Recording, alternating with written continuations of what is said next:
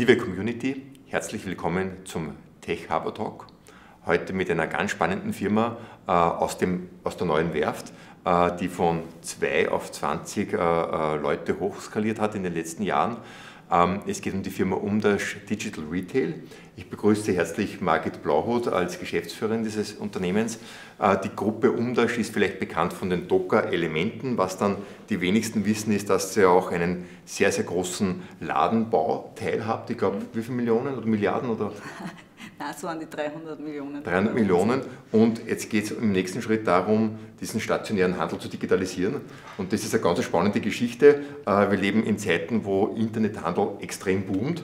Jetzt muss ich die gleich erste Frage sitzen wir in zwei Jahren noch hier oder gibt es euch dann schon gar nicht mehr, äh, weil der stationäre Handel sowieso puff, verpufft ist? Ja, also erstmals danke für die Einladung heute. Ja. Und na, natürlich werden wir noch hier sitzen, ja, weil es wird nicht alles digitalisierbar sein. Ja. Sprich, ähm, die Leute werden nach wie vor auch einkaufen gehen, ja? besonders im Bereich Lebensmittel. Ja? Handel sehen wir auch jetzt aufgrund der Corona-Krise ein, ein deutliches Wachstum. Und natürlich gibt es nach wie vor auch die Shopping Experience, ja, die nicht zu unterschätzen ist. Ja. Die Menschen gehen ja nicht nur einkaufen wegen dem Einkaufen, sondern auch wegen dem Erlebnis. Aber jetzt hast du schon eins gesagt, äh, das Thema äh, äh, Lebensmittel. Ja. ja. Lebensmittel digitalisieren. Jetzt bin ich ein bisschen provokant.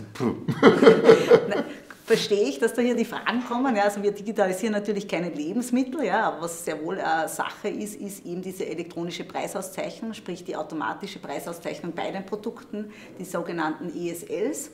Und das wird immer wichtiger aufgrund äh, Preisveränderungen, aufgrund der Unique Experience, die man in den Stores haben möchte. Und da sind wir eine große, momentan boomende Nachfrage in diesem also, Bereich. Das heißt, also Unique Experience, wenn wir schon vorher ein bisschen ja. drüber geredet haben, das heißt, ähm, ihr könnt dann sagen, okay, der Maßregel kostet 1,20 oder ich sage nicht ihr, der, der, der, der, Chef, und dann äh, des Marktes und dann zack, mit einem Knopfdruck ist es dann in allen Märkten gleichgestellt. Genau, also das ist ein, ein, ein, einer der Vorteile ist diese Zentralisierung. Ja, das heißt, wenn es eine Aktion gibt, ja, so kann jeder Kunde wirklich zeitgenau zu dieser Aktion kommen. Ja. Das ist, hat den Vorteil, wenn man jetzt alle äh, Preisschilder in der Vergangenheit austauschen hat müssen, dann hat man einfach nicht so genau die Kontrolle gehabt, ob diese Aktionspreise auch wirklich zum Zeitpunkt X in den Märkten sind. Das heißt, ähm, ja, es ist eine Vereinfachung, ja, ein, sorgt für schnellere Abläufe und es führt natürlich zu mehr Genauigkeit bei der Preisauszeichnung an sich in den Stores.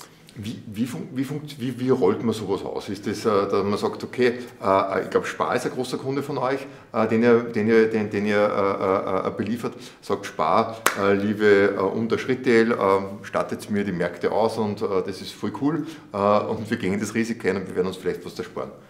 Ja, also momentan sind wir besonders beim Bereich dänisches Bettenlager, da haben wir einen wirklich großen Kunden. Ähm, das funktioniert so, dass man natürlich äh, sicher mal ein, zwei, drei Testmärkte anschaut am Anfang. Also nicht, nicht Märkte im Kundenmarkt, sondern wirklich der wirklich Markt. konkrete, also egal ob Spar oder dänisches Bettenlager. Äh, geht es darum, dass man einfach mal probiert, wie funktioniert die Technologie bei dem Endkunden. Ja? Das heißt, da gibt es dann immer sogenannte Testmärkte, ja? die sind ganz unterschiedlich, meistens in unterschiedlichen Regionen auch ja, angeordnet. Und man probiert, wie funktioniert die Technologie mit den Kunden und wie reagieren auch die Kunden auf die neue Technologie. Das heißt, konkret da werden zum Beispiel fünf Testmärkte etabliert. Da schaut man, sammelt man Erfahrungen und dann kommt es, wenn es dann final entschieden wird, zu einem sogenannten Rollout, wo man diese Technologie auf alle Märkte ausrollt. Wenn ich jetzt in Linz sage, ich möchte, es in, ich möchte es das Neueste an, äh, an Technologie erleben, was es im Märkte gibt, gibt es Testmärkte, die wir in Linz da haben? Wo ja, beispielhaft kann man zum Beispiel auf die JKU mal schauen, auf den Sparmarkt bei der JKU. Da ist zum Beispiel, da sind schon die elektronischen Preislabels okay. ausgehängt. Cool. Ähm, wir haben vorher ein bisschen geredet, Experience. Ja, äh, äh, hm. Jetzt haben wir die, also Preisauszeichnung ist ja keine Experience. Was wäre Experience? Vorteil für mich jetzt, äh, ich gehe jetzt zum, weiß es nicht, in einen Bau, Baumarkt, äh, äh, was, was könnt ihr besser machen für den Baumarkt? Also beispielhaft könntest du ja einen Produktfinder haben im Baumarkt. Ja? Das heißt, du hast ja diese ganzen Schrauben im Baumarkt. Also wer kennt das nicht, er steht vor diesem Schraubenregal und weiß eigentlich nicht, wo die richtige passende Schraube ist. Ja? Man ah, sucht halt recht lang. Ja, man sucht lang, genau. Und das heißt, theoretisch hast du dann auf deinem Handy eine Touch-Applikation drauf oder eine Applikation drauf, wo du sagst, du brauchst genau die Schraube ja, und dann blinkt das Produkt auf vor dir. Das heißt, das ESL hat auch ein Blinklicht drinnen okay. und das, äh, das, Blinklicht wird dann aktiviert und sagt, okay, das ist das Produkt, das ich gerade suche. Ist das Zukunft oder ist das? Nein, das ist, das, das ist eine Möglichkeit, wie ich diese elektronischen Preislabels unter anderem auch verwende. Ja. Oder ich kann mir zum Beispiel Macht ihr das alles selbst? Entschuldigung, wenn ich das unterbreche. Macht ihr das alles selbst äh, mit euren 20 Leuten oder wie funktioniert Also wir das? kaufen natürlich Technologie zu, beziehungsweise wir haben Technologiepartner, das heißt, das sind diese Produzenten von diesen ESL-Lösungen, die produzieren die Labels ähm, in Asien und auch die Software dahinter. Und wir integrieren diese Labels bzw. integrieren die Software zum Endkunden, sprich zum Retailer hin und schaffen hier Lösungen für Individual, Individuallösungen für die Märkte bzw. für unsere Partner wiederum. Wie groß hat sie jetzt im internationalen Vergleich? Also bei 20 klingt jetzt nicht so viel. Also, also wir, wir sind eine GmbH, die ja? grundsätzlich zu den Storemakers an sich dazugehört. Das heißt, äh, wir sind schon im Dachraum mit unserem im Signage-Bereich und im Digitalbereich sind wir unter den Top 3 gelistet. Ja. Ähm, wenn man unseren Gesamtkonzern sieht, dann sind wir auch ähm, schon relativ äh, tonangebend am europäischen Markt.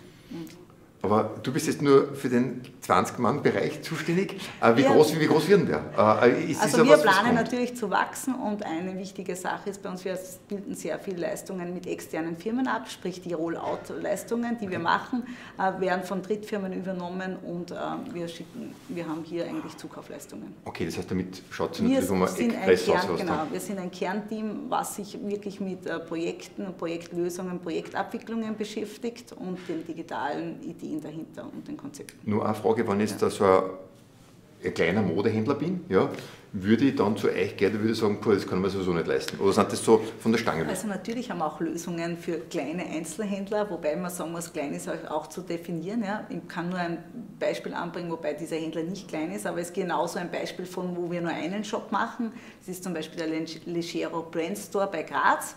Das heißt, was machen wir da? Wir schaffen da wirklich eine Brand Experience Welt mit Videoleinwänden, ESLs, Lift- und Learn-Applikationen und eben auch ähm, Preischecker. Ja. Das heißt, man kann hingehen, äh, das Produkt hinhalten, erfahrt den Preis und vielleicht noch weitere Produktdaten dazu. Das heißt, es ist äh, ein, eine komplette Gesamtexperience, die wir nur für einen Shop machen. Ja. Okay, ähm, das heißt, ihr braucht mir jetzt keine Sorgen machen, dass ihr äh, äh, äh, nicht wachsen werdet, weil alle wachsen, äh, äh, wenigstens da herinnen. Ähm, wo geht's, wie weit ist die Zukunft weg oder, oder wo geht es hin? Also wir glauben und sind überzeugt, dass die Digitalisierung der Stores immer weiter voranschreiten wird. Auch diese Verknüpfung von Offline- und Online-Experience findet statt. Das heißt, Basis ist zum Beispiel oder Möglichkeit ist ein mobiler Checkout im Store selbst. Ja. Das heißt, man geht nicht mehr zur Kasse, sondern man kauft nur mal per Handy ein und Registrierung. Äh, okay. Oder auch eben bestellen und in den Store abholen. Ja. Ähm, das heißt Click und Collect sozusagen. Und wir sind überzeugt, dass diese Welten immer mehr verschmelzen werden und dass aber der stationäre Handel natürlich nicht komplett aussterben wird, wie du so am Anfang prognostiziert hast oder die Frage, das war Frage. Hast. äh, äh, denn die Menschen wollen Menschen treffen und Menschen wollen Erlebnisse haben. Ja. Das heißt, äh, also Shopping ist ja bei uns nicht rein nur äh, Mittel zum Zweck, sondern auch eigentlich ein, ein gewisses Freizeitvergnügen, auch wenn es momentan leider etwas eingeschränkt ist. Ah, jetzt habe ich nur eine Frage, was du sagst. ähm, äh, wollen Erlebnisse haben. Ja. Ähm, Wäre es nicht interessant, äh, mit einer eigenen Firma zu sagen, was wären coole Contents? Auch das machen wir natürlich. Ja. Ah, also wir, wir, sind nicht nur ähm, Hardware- oder Software-Provider, sondern wir äh, machen auch Content-Marketing in den Stores und Content-Management. Das heißt, im Bereich Digital Signage, ähm, wo wir quasi eben digitale Displays zur Verfügung stellen, um Content-Werbung äh, herzuzeigen, bieten wir auch Content-Lösungen an und helfen unseren Kunden Best Practice Contents zu entwickeln für ihre eigenen Kunden in den Stores. Okay, cool. Also, falls ich wieder eine Idee habe, äh, ich weiß, ihr habt das vor mir gehabt. Margit, herzlichen Dank für, fürs Gespräch. Ähm, für mich immer, immer wieder so spannend, in eine neue Branche für mich reinzuschnuppern und zu sehen, was man mit Technologie im Alltag, ohne es zu merken, äh, trotzdem für ihre Vorteile schaffen kann. Herzlichen Dank für das Gespräch. Danke euch fürs Zusehen und ich freue mich, wenn ihr wieder dabei seid bei der nächsten Folge von Tech Harbor Talk. Dankeschön.